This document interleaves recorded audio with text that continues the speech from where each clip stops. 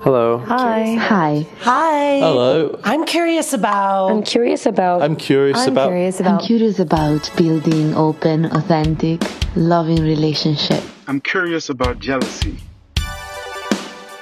I'm curious about polyamory. Does it just mean that you're fucking all the time? How can I tell my parents that my partner is already married? I'm curious about. How do you know when you're too busy to have another relationship? I'm curious about dominant and subordinate relationships. I'm curious about sexual health. How can relationships evolve with people as they grow and change? That's when you really, really need to rely. If you want to make this work, if you want to involve this in your dynamic or in your relationships, then you really have to look at the activity or the feelings and try to hmm. find something else that makes you feel the same way. Welcome to the Curious Fox podcast for those challenging the status quo in love, sex, and relationships. My name is Effy Blue. Today, I'm curious about how to navigate a mismatch of kinks within romantic relationships. We're all unique beings with unique expressions of self, and this resonates throughout to our sexual expression also. In an ideal world, how we like to show up in our sexuality, what we desire, what we're curious about, the dynamics we enjoy, the sensations we seek align or complementary with our sexual partner or partners. In this ideal world, for those who like it vanilla, and that with others who also like it vanilla and have delicious, grade A Madagascan vanilla sex. For those who like a bit of exhibitionism, and that with voyeurs who love to give all their attention to their partners doing their thing and delight in every second of it. The tops and bottoms revel in power dynamics. The masochists and the sadists explore pain and suffering of the body, mind, and soul. And those who want none of it relax in a cuddle with an ace partner or partners just like them. Unfortunately, not all of us live in this ideal world. It's not uncommon to have mismatched needs, desires, and curiosities. Not everyone can wrap their heads around hitting someone they love, regardless of how much their partner might want it, or feel comfortable just dropping into roleplay.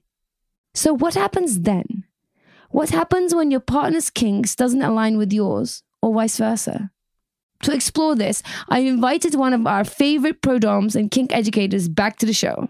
My name is Mistress Shayla Lange. I am a pro dom kink educator, owner of the largest female run dungeon in New York City, and co head founder of Seven Days of Domination, which is an educational online kink program.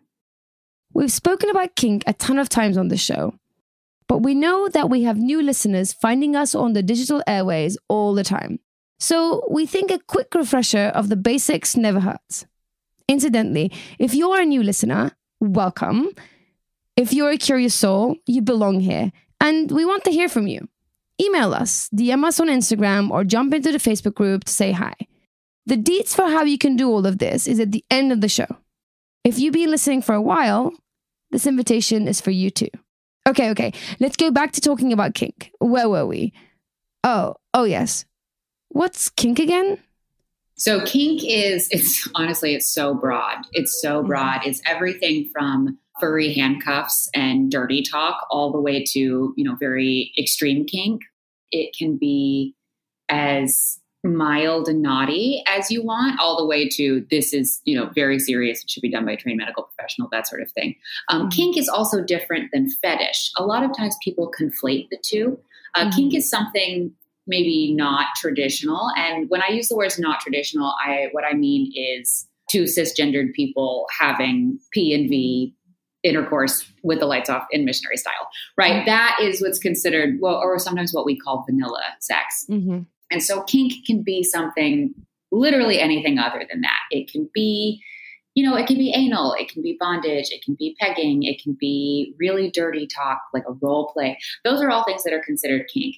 Fetish is still all of those things, but the difference between kink and fetish is that kink is something that is fun to do and gets you off. Fetish is something that you have to do, otherwise, you're not going to get off.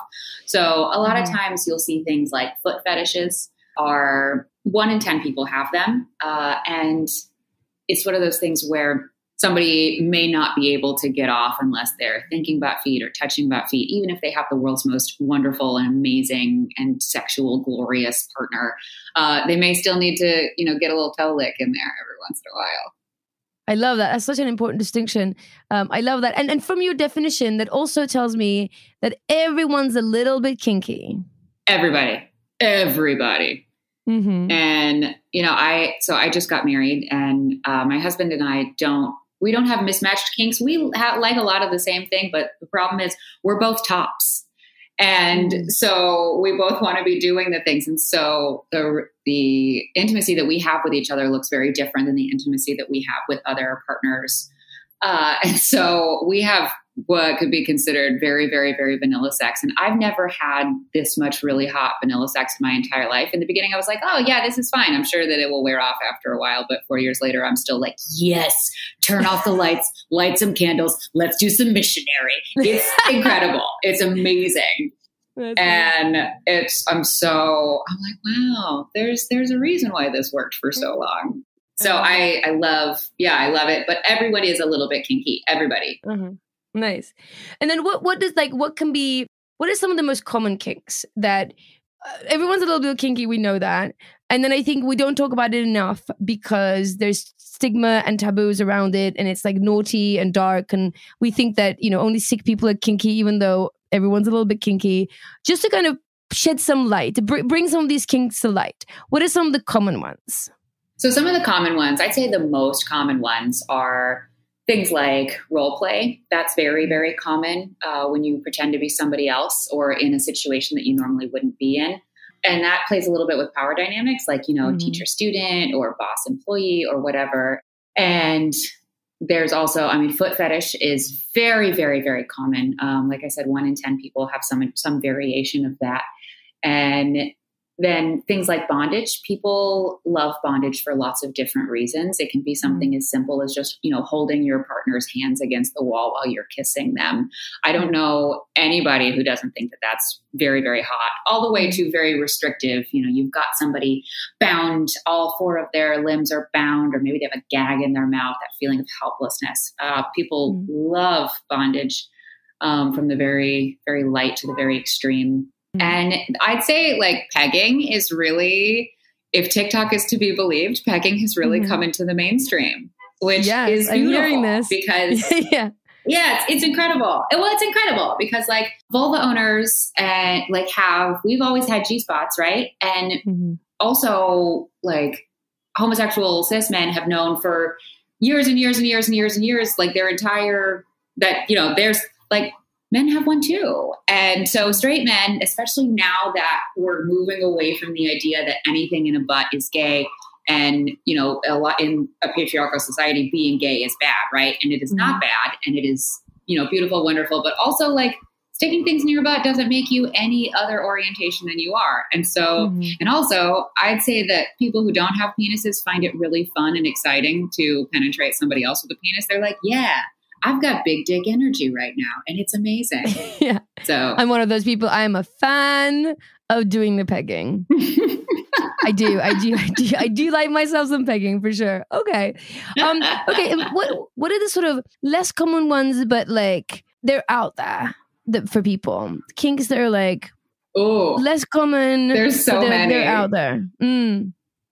I love going down the rabbit hole of these. Um, so, I mean, as a professional dominatrix, I've really I've seen it all. Right? I have Mhm. seen everything. I have seen the very very weird to the very very tame, and people's fetishes can get and I like fetish, not necessarily kink, but people's fetishes can get so specific.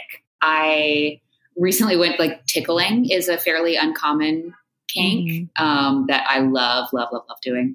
And but also it gets sort of niche. There will be I've had clients bring me a very specific outfit to wear and not, you know, sometimes they'll bring you a nurse costume or a schoolgirl costume or say, Oh, can you wear all latex for me?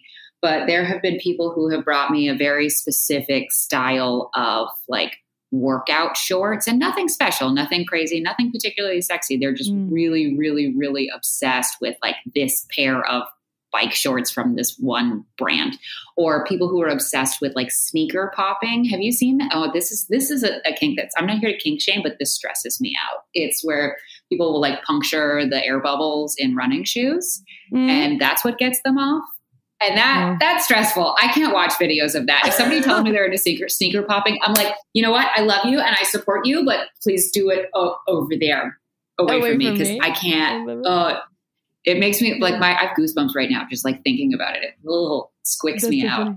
I mean, it goes really, really, really deep. Um, I've Mm. had people who were really one of my favorite phone sex clients is really into control top pantyhose.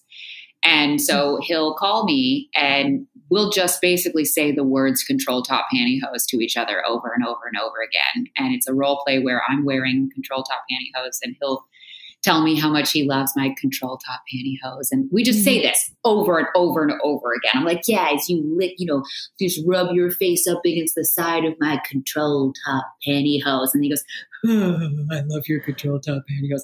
It's very, very cute. But like it's it's that combination of words, right? Just the Right. words that gets him to where he needs to go. So like there's everybody's got their own thing and you don't even realize it's a thing until it sort of is awakened. Sure. Um, yeah. Do we know where kinks come from? No. the short answer is no. I people will tell you all day like, "Oh, well this was my sort of awakening. This was my sort of like this is why I am the way that I am." I have a lot of um, older spanking clients who will tell me all day, all day, "Oh, my babysitter spanked me and I got my first erection," or "I was spanked in school and this is my teacher was really hot and you know this that and the other," or you know, I had to get an enema as a kid because I was really, really sick, and it was the '70s, so they did that to children, and that really got got the motor running. And so people will tell, like, and you, I will say that there are awakenings for specific kinks, Mm. but I wouldn't say that a switch flips and all of a sudden you're kinky. I had a, I was watching a movie, and the thing is, I don't even remember what movie it was. This was years ago that triggered a really sort of temporary fascination with washing other people's hair because it was a scene and it was two women in the bathtub and they both had really long hair and they were sort of like washing each other's hair. And I remember thinking, oh, that looks so hot. Mm. That is so hot. And then, you know, I went around asking people if I could wash their hair for like eight months. It was, and so like that, I can tell you that, but I can't tell you if I would have turned out kinkier or less kinky if I'd had some sort of like childhood trauma or a moment in time that was really pivotal. Some people do, some people don't. My theory on kink is I think there are three ways. These this is pure theory. Um, though I would like it to be researched if anyone's out there. My theory is actually kind of combination of all the, the things that you're saying. I think I've grouped them into three ways. I think some people are genuinely born that way. I think it is. I think we all mm. have a, sex- a sexual self-expression, just like we have all the other types of self-expression. And some people, some people's sexual expression is kinky, and that, that is simple as that. Like it's not about any specific nurture or experience. It's just the way they their sexuality is formed. The other version is, I think, people meet kinky people, and it doesn't offend them Yeah. and they kind of just go along with it because it's exciting, it's different, it's new. They love their partner, they're curious, and they may not be kinky in their next relationship. Then, if their next relationship is vanilla, they wouldn't look for it, but they kind of end up with somebody who's kinky and they like the idea of it and they're not offended by it and that's kind of that's kind of how they are and the third group i think is you know people who've had experiences that have really shaped and form that particular thing you know it is the it is the spanking from a, a, a babysitter or it is the enema or it is something that is, is sort of shaped it i think those are sort of my three main groups can you think of anything else I think that you've really nailed it. I think you've really nailed it in that it, you know, it comes from like a specific childhood thing or just from exposure. Uh, I I really like that you brought up the exposure part because I feel like that's really how I've grown in my own kinks. Mm. Yeah, I feel like I feel like I was I feel very seen right now. Like, oh, I never really associated that because I didn't consider myself a kinky person when I got into pro domination. And it was more just, oh, this sounds like a weird job. I can learn how to throw a whip. And then I did. And now I think I, I'm definitely into uh, more unusual things than I've ever Sure. been before in my entire life. And also been much more open to Mm. the idea of extreme kinks or unusual kinks or you know something being very very specific for a very specific motivation than I've ever been before in my entire life. Nice. Yeah. And yeah, I think yeah, I think you've really nailed it with that sort of like three things Mm. there. Yeah.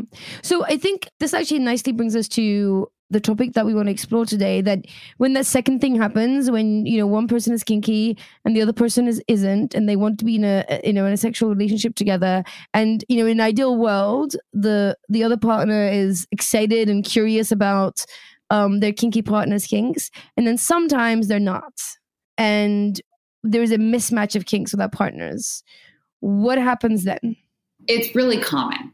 It's really, Mm. really very common. And it comes from a lot of like the mismatch can go one of a couple of ways, right? Mhm. Your partner comes to you, says, let's use pegging for an example. Your partner says, I really want to peg you or I want to be pegged.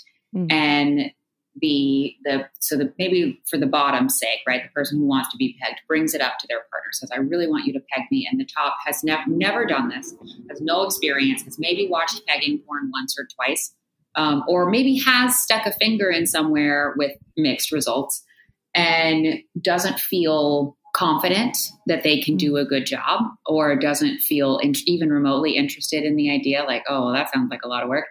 And so you have a mismatch there. And the sort of important thing i think there's sort of a system here for the both the mm-hmm. tops and bottoms to determine how they're going to figure this out right? Because either if one partner really really wants this to be a part of their relationship wants this kink wants this thing to be a part of their relationship they're either going like one of they're going to have to compromise or one of them is going to be unsatisfied.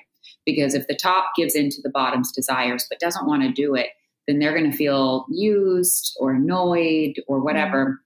Whereas if the bottom just hides this part of themselves from the top and says okay well i guess i'll just never do it then they can also feel like their needs are not being met. And that's the problem. And if they comp oftentimes if they compromise and say okay we'll both just do this then the where the top doesn't want to do it and the bottom really wants the top to do it you know the bottom may not be getting the experience that they're looking for and the top may be sort of irritated. And so if they say oh well let's compromise and you know i'll watch you play with your toys or i'll you know stick a finger in rather than a whole strap.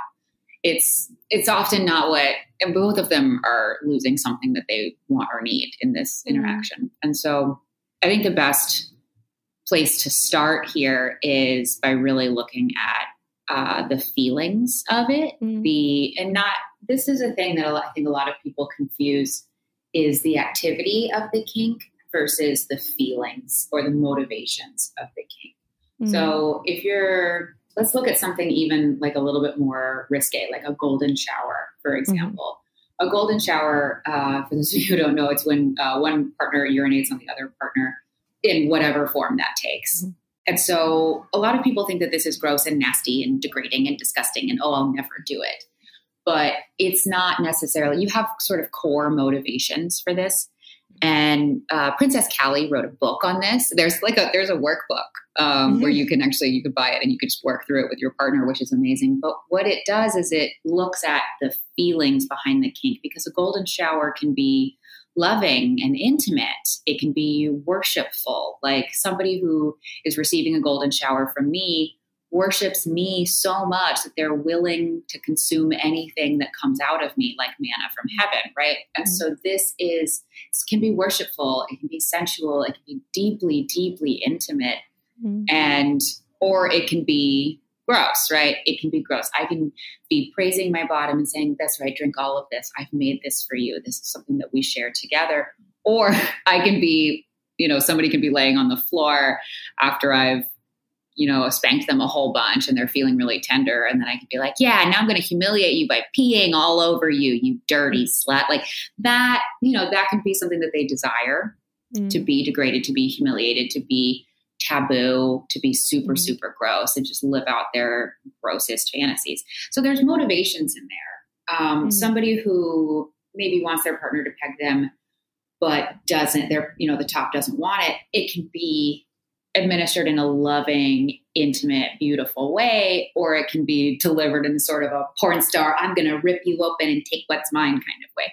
You know, and so identifying those feelings and bringing that up to your partner may help you get on a little more even ground. If you Mm. like to be tied down and called names, that's a little bit different than if you want to be tied down and cherished, but also ravished. So it can be so many different things, and you really have to start with the feeling behind it and identifying that because once you find that feeling, you that feeling will translate to so many other things. So, say your partner really, really just is super, super, super squicked out by pegging, right? Super squicked out. Maybe, but you see this as something that's like beautiful, intimate, like your partner is inside of you, is, you know, kind of taking you from the inside out, and you're doing something really taboo and dirty and um, you know, it would be really shameful if other people knew. Maybe you translate that into something else, like a like a role play where you are humiliated and yet sort of like taken and cherished and evis- like eviscerated, ravished. And so you find that feeling, and that that way maybe you find something that your partner feels a little more confident in doing, or feels a little more enthusiastic about, while still getting that same desired feeling at the end of it. I love that. And it, it makes so much sense. And I think it also allows people to sometimes you want the feeling or you don't even know how you want to have it. So it could actually be a really nice conversation to have with your partner to say, I want to feel ravished. And then for for you to figure out together like how to get to that feeling as well. And maybe that might that might bring some I can totally see how that might bring somebody in because then you're kind of like, you know, nerdy brainstorming like all the the pleasure on and all the ways that you can get to that feeling. And maybe they feel more included rather than being sort of demanded from or you know um, feel obliged and all, all the other kind of things. And um and, and and end up being a common ground that it's a sort of sexual exploration. Absolutely. Well, and that's that's the that's the other thing is when the you know the partner feels that it's sort of thrust upon them, and it's this is I find that this is a common mismatch, and this gets into like sort of relationships dy- relationship dynamics. There's always the partner that's like sort of feeling the need to manage and provide um, a lot of times, Mm. and Mm. or especially especially when it comes to like heterosexual relationship dynamics one partner is like you know the manager and the other one is the okay i you know i do all these other things and so i find that a lot of cis women in general or women or folks who've been socialized as female often feel the need to sort of be the best at everything that we do right off the bat. And we Mhm, get mm-hmm. overwhelmed when we're presented with something that like we don't know how to do. And also it somehow involves our relationships. Mm. And we're like, well, I don't want to disappoint this person, but I also don't want to do this thing. And so what do I do mm-hmm. to get in that? And it, it causes often can cause some resentment. It's like, well, why would you why would you tell me this? Like, why would you ask me to do this? Because this is Mm. just another thing that I have to deal with on top of the laundry and the dishes and you know, walking the dog and all of these other things. I mean, depending on whatever your relationship dynamics are. And so they often feel compelled to, oh, this is another thing I have to learn how to do and get really good at. Mm, yeah. How would you? And that's so real. what you just described is so so real. Um, you know, I've I've been coaching uh, people in their relationships for, gosh, like over seven years now, and I and I hear this like this is a, a weekly occurrence. I have this conversation with somebody. Um, it's so so real. What should we do? What some that's happening? You know, you're either the person that's obliged or you're the person who's asking for this. How do we handle that situation in a way that it doesn't feel like an obligation to the other person?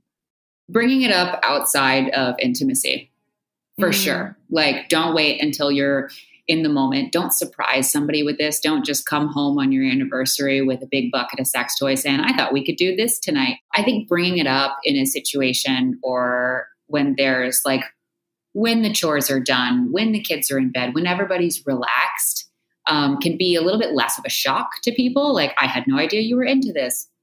So bringing that up in a very like non when there isn't so much stuff going on uh, is, a, is a good way to start. And also never bring it up right after intimacy because that can often make people feel like wait so what we just did wasn't good enough for you? Uh huh. and so bringing that up i find that in the so in the pro domination realm uh, my clients will email me right? They will send me an email. They will say this is the kind of experience i'm looking for.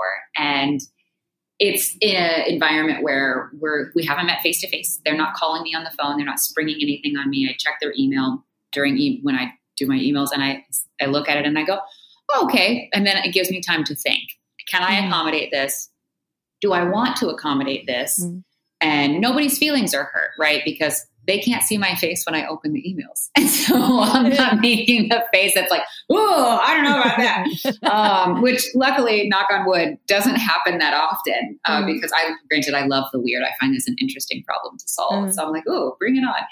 But it's it's important to do this in a time where everybody's relaxed, everybody's calm, and also to think about it because if you present something to somebody and say, "Hey, I would like for you to tie me to the radiator and call me a dumb bimbo while you rail me from behind," that very hot, right? But can also lead to uh, surprise and shock, and maybe they don't see. You know, maybe they don't see their partner as a dumb bimbo who they want to mm. rail from behind. Maybe they see their partner as a smart, accomplished, loving, wonderful human, and they may feel bad about calling them names or, mm-hmm. you know, just like taking them very rough. And so if you, you know, you say things like, well, I like to do this maybe as as a role play, right? I want to be your partner and I want you to take some ownership over this because I love you, I care about you, I support you and, you know, in this life and I also want to be like that in our sex life. And so leading with I like to feel this way as long as that's not happening in a place where they can be surprised and taken aback. I'm like, no, I never want to do that because that can actually hurt both people's feelings. Mm. If I say, hey, I would like you to slap me across the face, and my partner goes, I would never do that. Are you kidding? And I go, well, now I'm hurt because you love me. Why wouldn't you want to slap me in the face? Mm. And, you know, my partner's horrified because why would I ever hurt the person that I love? And so reframing it as I feel loved when you slap me across the face. I feel owned and cherished and adored and just like like your wonderful little present when you slap me across the face. So I love that framing. I think that framing is really powerful to actually pair up how you feel with this activity that otherwise could be perceived as aggressive or hateful or you know bad uh, but to actually kind of frame it in a way like this is how it makes me feel like i feel this way when this happens i think it's such a powerful way of going about it. And i think also i love like do it when there's room for discussion. I think when you're in the throes of it if you you know middle of intimacy or just about to get there to bring it up i think there isn't there isn't any wiggle room. Like you either gonna do it or not no. do it, and then it's gonna kind of ruin the mood. I love that you're saying like do it offsite. You know, it's this is not about sex; yeah. it's about uh, communication. So bring it up, love it that is. framing, and then kind of say like, how does that make you feel, uh, and have a conversation about that. And and then once you've sort of ironed things out outside the, the bedroom, bring it in. You know, turn the lights on and play. I love that.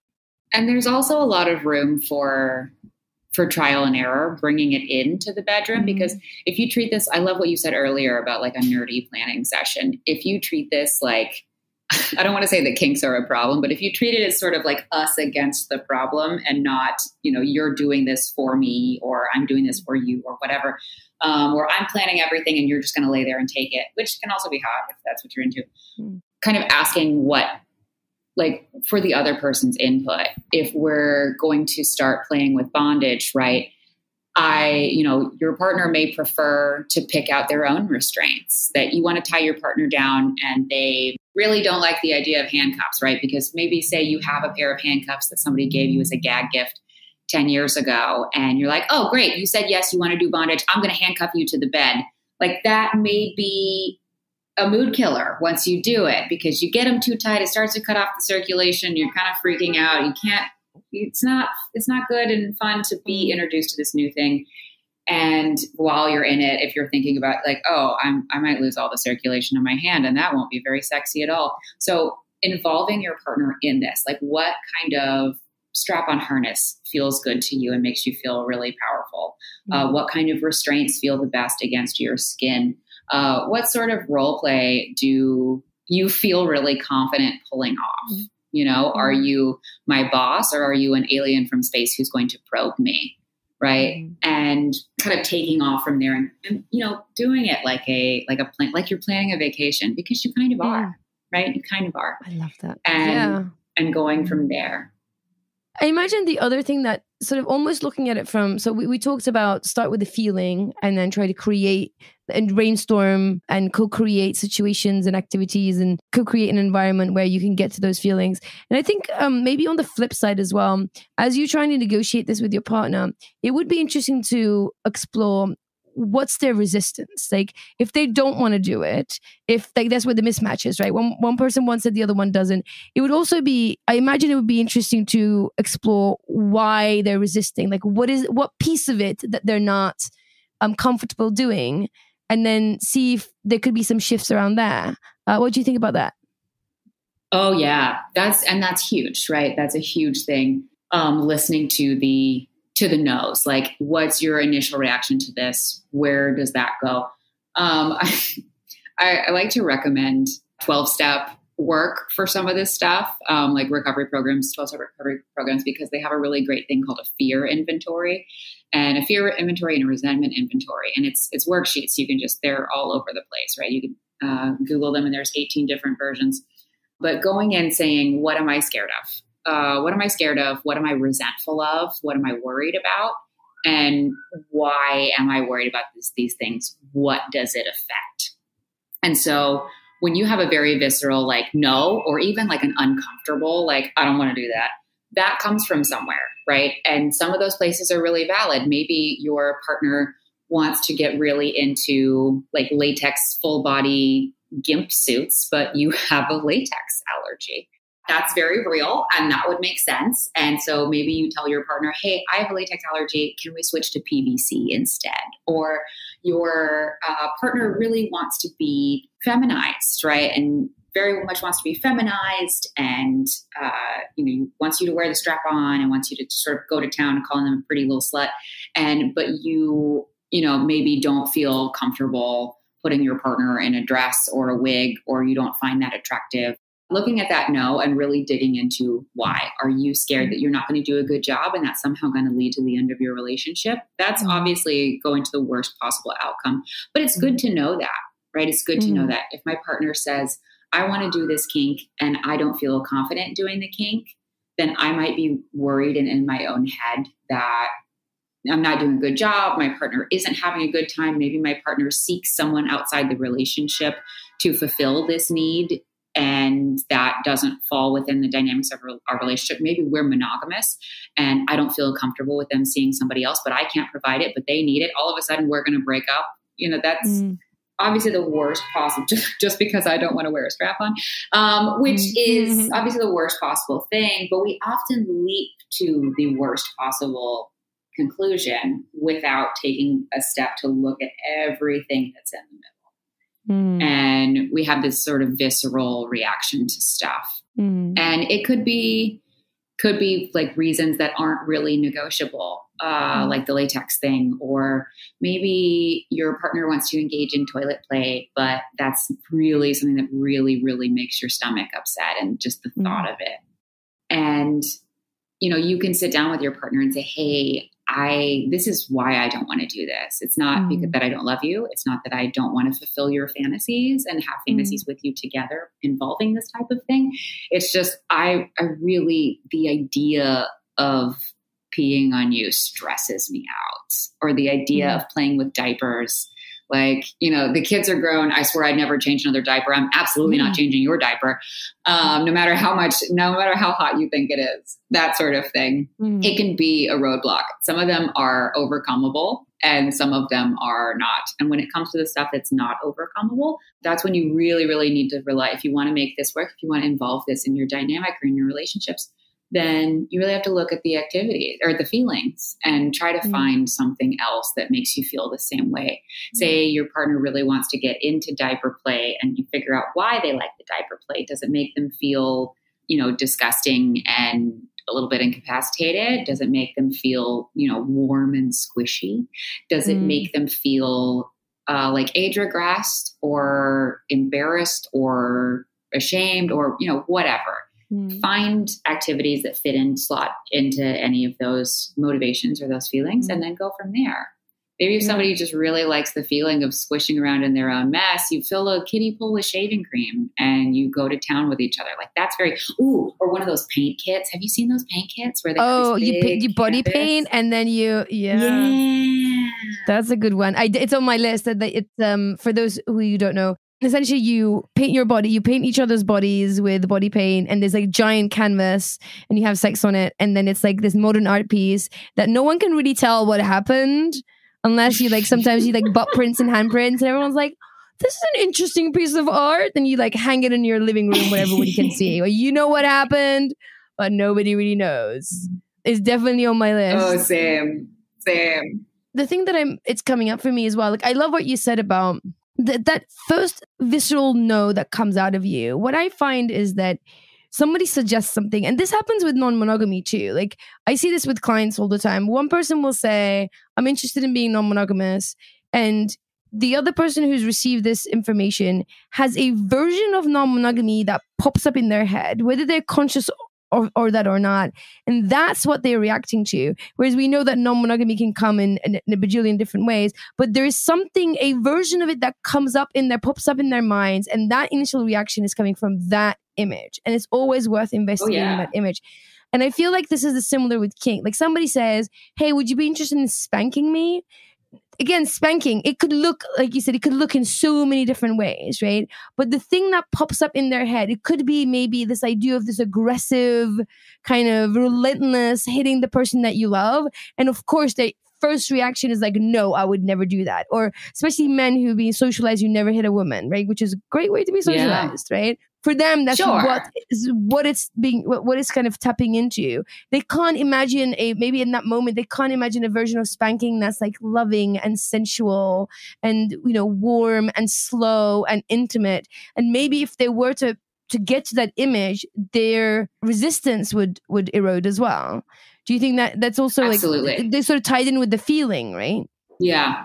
And i think coming at it from a place of feeling saying something like you know, I find it really intimate. I find it really sensual to be, you know, over like laying over your lap and sort of exposed in front of you. If you mm. wanted to do like an over the knee spanking, I could be close to you and I could just kind of lean my body weight on you. And then maybe you give me a couple of light taps on my ass while you're saying dirty things to me or while I'm saying dirty things to you.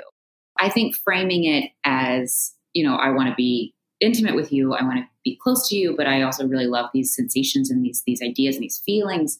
Uh, bringing that to your partner rather than saying, "Hey, I, I really like for you to spank me," like because that sort of frames it as, "Here's something you're doing, you're not doing in the bedroom that I'd like for you to do." To here's an experience I want to have with you together. Yeah and the balance to that as well with the resistance piece because i think it's also worth addressing is other than the ickiness and everything else and sometimes it is you don't want to do it because there's a feeling that's in the way. And there's often shame it's guilt right? It's if, if you're a failure um like you said. So i think it's a, it's for the person who is resisting like he doesn't want to participate in the, in the kink they, they they also need to do some internal you know some self inquiry is like is it really that i don't want to do this? Like is it really a visceral no? Or is it am i holding on to some shame some guilt some you know some something that I'm being fed that tells me not to do it. And it's not really an authentic no, but more like I haven't really figured out the feelings around it. And I think that eh, you're right. I think just figuring out the feelings around eh, around this is really the key.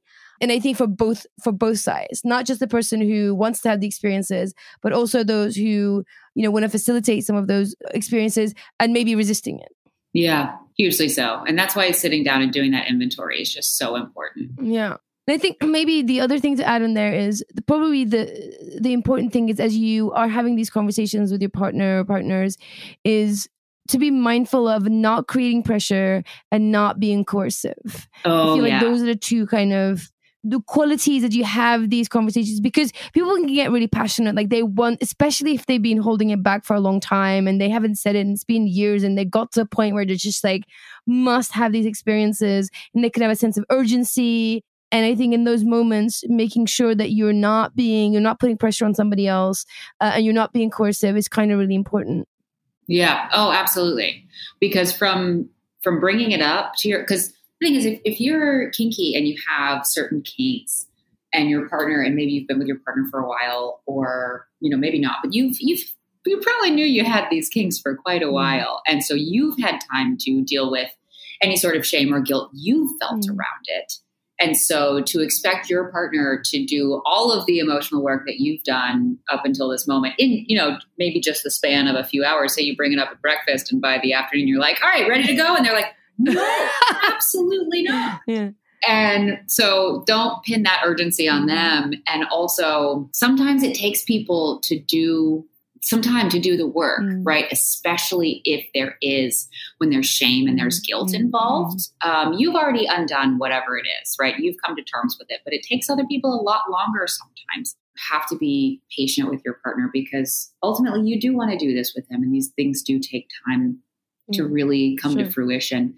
Also, if it's a feeling, say you're the top and you want your bottom to do something, say, I really want to spank my partner, but my partner does not like pain sometimes it takes getting used to the feeling. When we mm. stub our toes or when we get a paper cut, we're used to that, right? So we know what it's going to feel like. We know the terms we use in, in BDSM are thuddy versus stingy because a mm. lot of times people know what a thud feels like and what a sting feels like. And so you can be prepared for that. You can generally tell once you've experienced a little bit with the implements that we use, like a flogger or a paddle or a whip or whatever you know, you can tell your partner, I really prefer thuddy to stingy or vice versa. You know what's coming, you can better prepare for it, and you may even learn to love it. It gets complicated when it comes to other things, right? Because we have, there's thuddy and stingy are the most common, but then you also have zappy, like electrical play. I have mm-hmm. very, very, very heavy masochist clients that I love playing with, but the moment I touch them with uh, a thing called a violet wand, which is where it sends a little tiny, little tiny arc of electricity. It's like a, a bug zapper or a shock collar, but very, very tiny. And they will hit the ceiling because they're not used to that electrical feeling. Or if mm. I put out a cigarette on somebody, or even just threaten to, uh, mm. they will hit the ceiling because they are they're not used to this type of pain. Their body mm. is immediately going, oh my God, I don't want this. I'm uncomfortable. I've never done this before. This is bullshit. We're not going to do this ever again. So sometimes it takes a lot of little baby steps to sort of gently ease into the pool of sensations or mm. play if and this can be emotional too if you're not used to calling your partner a dumb dirty slut it may feel really shitty in the beginning and mm. you know you may you may just start with you're a slut right? And then you add, you're a dumb slut. And then you go into, you are a filthy little pig whore, aren't you? And you're my filthy little pig whore. Like, you know, that, that sort of stuff, right? You get sure. into it. Yes. I love that. I love that. Um, good advice. Good advice. Okay, let me ask you. Let me see what we can do at the, I guess, the worst case scenario. So we've had a lot of gentle talking, compassionate, generous, open. We did research. We tried a few things. We've, you know, processed feelings. We read about things. We did some trial and error, and we came to a point where there is just a mismatch and we're not going to be able to find a satisfying middle ground that works for everyone and feels everybody you know safe comfortable which is what we all deserve to be in relationships. What do we do? What do we do when there is no common ground? I mean not a, not a lot. You have a couple of different avenues. If this is something that somebody needs say somebody has like a fetish right versus mm-hmm. a kink where this is something they need to get off mm. they probably would have told you about it in the beginning Otherwise, you would have just noticed their noticeable lack of orgasm, or maybe they've been faking it the whole time. Who knows? Mm-hmm. Um, but let's use a really common one that's often hardwired in, like foot fetish. If mm-hmm. somebody needs to see, touch, think about, smell, or taste feet in order to have an enjoyable sexual experience, and you say, I don't know, you were are a double amputee, you have no feet, and so you cannot possibly provide foot fetish to your partner, or you are extremely, extremely ticklish and any sort of foot touching squicks you out. You're not going to be able to interact with this with your partner. And so, mm. but your partner needs this, right? You've only got a couple of options. Maybe seeing a professional mm-hmm. or uh, playing with others. Uh, a lot of times people will send, I have one client who his wife was the one that made the booking she makes the booking every time. And mm. she emails me. She says, This is my husband. This is his ID in case you wanted to screen him to make sure that he's not a serial killer. Uh, here's what he's into. Here's what I feel comfortable letting you do to him. Um, these are mm. my boundaries, and these are his boundaries. And and it's great, right? Because she mm. is physically unable to do the things that I can do, and he gets his needs met. And it's different, right? Because I don't love her husband. I think he's a perfectly nice dude and I enjoy playing with him, but I'm, you know, I don't want to cook him dinner and come home to him, even in any stretch of the imagination. And so she's not worried that I'm going to infringe upon their relationship. Mm-hmm. I'm I'm strictly pro- providing a service, right? You know, I don't know how to change the oil on my car, and neither does my husband. And so we're going to take it to an oil change place because it has to get done.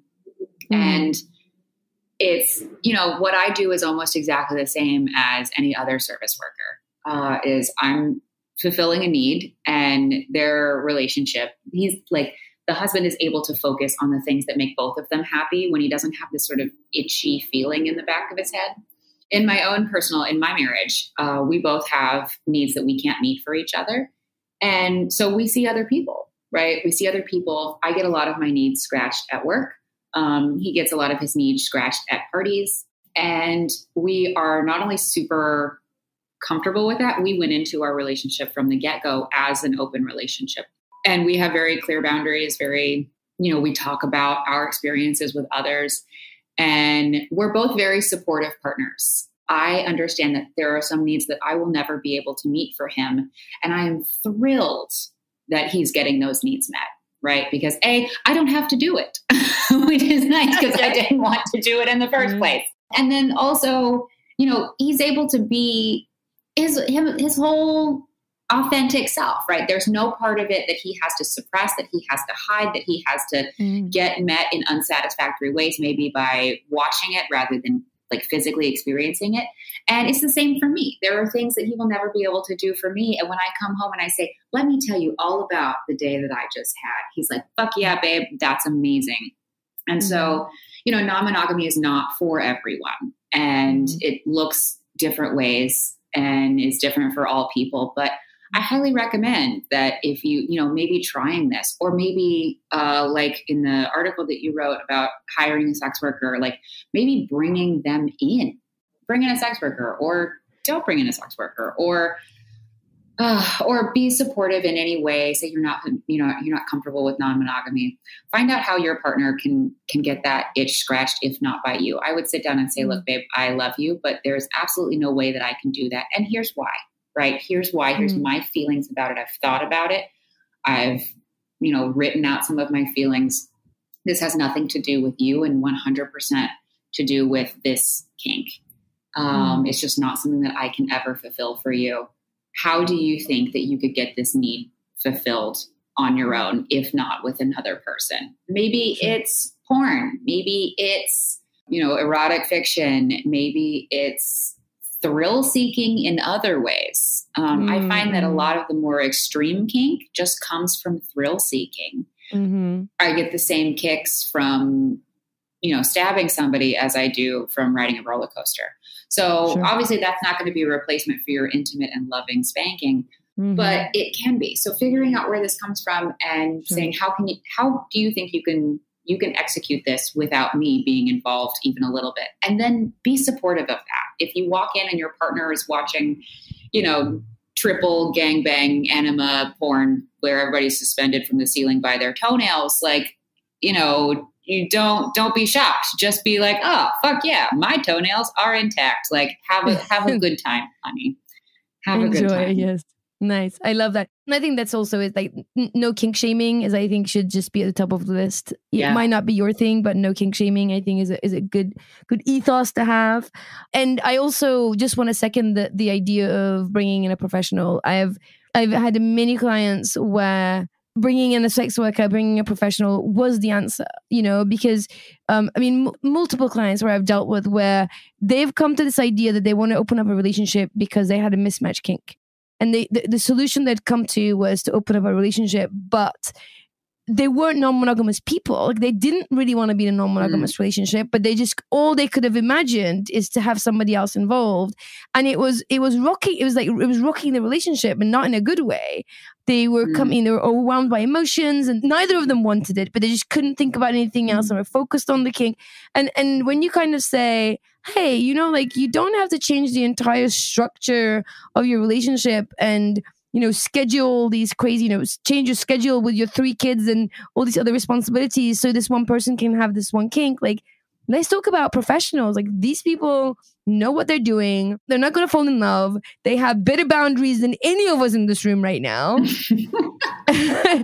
and you can learn a thing or two and it's a it's a very clean very you know good experience and it doesn't mean you can't be regulars like you can still have the intimacy and the closeness and the familiarity that you can have with a with a sex worker over a course of time you can see them you know weekly monthly whatever that makes sense for you and still feel like you get to know the person and they will hold boundaries better than anybody so I really Oh, yeah. do want to put that put that that idea that if if you if you have a mismatch and you're a, a loggerheads and, and no one's moving and you know even the non-monogamy just feels like the scariest thing in the world, consider working with a sex worker. There, there are great ones out there, and um, well, I'll definitely link on the show notes to the article that we wrote about how you find a good one, how you make sure that you know they're in a good position themselves, and how you you know what you need to know, what you need to tell them, and go for it. I would say just try it even once, just for the experience. The absolute worst thing that can happen is you don't ever have to do it again. Miss Shayla, thank you so much. It is always a really pleasant experience talking to you and so much knowledge and so much like exciting stuff. So I really, really appreciate your time. Um, and yeah, thank you for coming on the show. Oh my god, thanks for having me. I love I love this podcast. Before we go, Foxy friends, it is time for some audience participation. We have three fun, quick, and easy ways for you to be involved with Jacqueline, me, and the podcast, and help us challenge the status quo in love, sex, and relationships. First, we're doing a call for your funny sex stories. Back in episode 153, Jocelyn Silva and I had a great laugh about her attempts to talk dirty while hooking up with people in her travels around the world and her hilarious miscommunication during one steamy encounter in Spain. You reached out to us to say you love that story and wanted to hear more sexy mishaps. So, here's your chance to be on the show. Get your voice memo app and record your funny, sexy story and send it to us to listening at wearecuriousfoxes.com. And you don't need to include your name if you don't want to. Second, in my four and a half minutes of spare time, I opened an Etsy shop. It's a place for me to create products that I want to wear and use, from bags for femme lesbians and bisexuals who want to make it very clear that we are not just allies, to shirts that declare that I'm with him and her, to tote bags that proclaim that I've got 99 problems and white hetero mononormative patriarchy is basically all of them. The Etsy shop is filled with fun pieces, each designed to help us challenge the status quo and celebrate the beauty of pride. Use code PODCAST to get 10% off through the end of July. And if you're in the US, get free shipping straight to your door. Visit the Roots and Wings gallery on Etsy or find the link in our show notes or in my Instagram bio. Finally, one huge way that you can support the podcast is by connecting with the show on your favorite podcast app. This can be a heart, favorite, or a follow button. Also, rating the show and leaving a review on Apple, Spotify, or wherever you listen. We don't have advertisers or sponsors, so we rely on our community of listeners to spread the word. If you enjoy the show, or if any of the episodes have meant something to you, write a quick review as soon as this episode is over. Remember that the best way to stay contact with us is via our newsletter, where you get new episode drop emails, monthly digest, and themed emails, where we curate and share all of our episodes about opening up, jealousy, sex, and more. Jump on our website, wearecuriousfoxes.com, and sign up for our newsletter. And while you're there, check out all the blog posts, resources, reading list recommendations, and so much more. To connect with Miss Shayla, jump on Instagram at Yes Miss Shayla or visit her website, yesmissshayla.wordpress.com, where you can book a session or attend a class. If you'd like to listen to more episodes on sex, kink, and communication, check out the new episode drop email from Curious Fox in your inbox, where you'll find show notes, links mentioned on the show, along with other episode suggestions that we think you'd love. If you're not getting those, you are missing out. So jump onto our website, wearecuriousfoxes.com, and sign up to the newsletter. And of course, while you're there, check out all the blogs and the resources and the reading list recommendations and more. If you want to weigh in on this topic or connect with other Foxy listeners, head to Facebook and join our Facebook group. We are Curious Foxes. If you find our episodes interesting and helpful, please share our podcast with a friend and quickly rate the show or leave a comment. Subscribe on Apple Podcasts, follow us on Spotify, or connect with the show however makes sense in your favorite podcast app. This will take a few seconds of your time and will have a big impact on us. To support the show, join us on Patreon. where you'll find mini episodes, podcast extras, and over 50 videos from educator led workshops. Go to patreon.com forward slash we are curious foxes. And let us know that you're listening by sharing a comment, a story, or a question by emailing us or sending us a voice memo to listening at wearecuriousfoxes.com. This episode is produced by Effy Blue with help from Yamur Erkische. Our editor is Nina Pollock, who always finds a common ground with us. Our intro music is composed by Dev Saha. We are so grateful for their work, and we're grateful to you for listening. As always, stay curious, friends. Curious Fox podcast is not and will never be the final word on any topic. We solely aim to encourage curiosity and provide a space for exploration through connection and story. We encourage you to listen with an open and curious mind, and we'll look forward to your feedback. Stay curious, friends. Stay curious. Stay curious. Stay curious. Stay curious. Stay curious.